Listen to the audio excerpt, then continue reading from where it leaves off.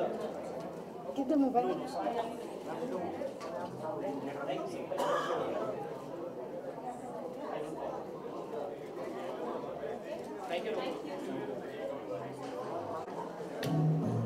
Now I can talk.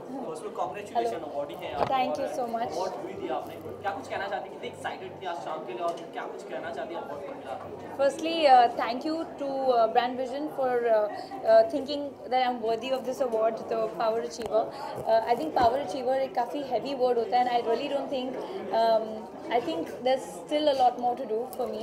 Um, there are a lot of goals, there are a lot of ambitions, there's a lot of drive uh, and this is just going to push me to, uh, to be able to achieve that. I hope I can live up to it.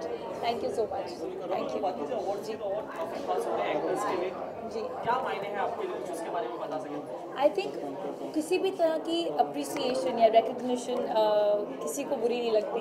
And it only pushes you to be able to do better और आप किस reason से actor बने थे या आप क्या काम कर रहे हैं आपको एक स्ट्रेंथ मिलती है कि हाँ कुछ तो सही हो रहा होगा जो लोग रिकग्नाइज कर रहे हैं। So I just feel it's it's amazing to get that appreciation and I am only gonna work harder to be able to do better साल काफ़ी खास रहा है आपके लिए नेक्स्ट ईयर भी काफ़ी इस साल ये साल।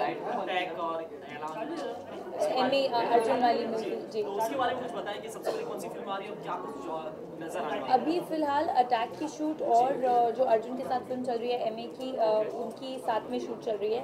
उसके बाद इंदू जी की फ़िल्म जो मैं कर रही हूँ with Sid and Ajay sir वो होगी. So there these three film right now for the year and कौन सी पहले आएगी तो I don't know I know Attack is on August fifteen and yeah it's exciting साथ साथ वॉट नाइट की बात हो रही थी मैं इसका भी ज़िक्र करना चाहूँगा। जिस तरह फ़िल्म फेयर में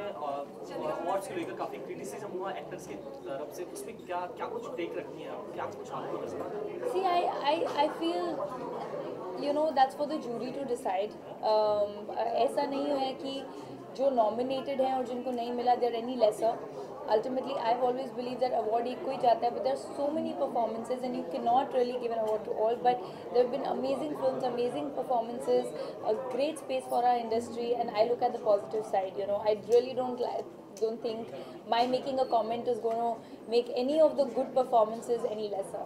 Thank you so much. Thank, Thank you. you. Thank you. I'm just one picture with him, just one. That's all. I'm from Hyderabad. Hi, hi. Good to see you. Yeah, uh, one picture.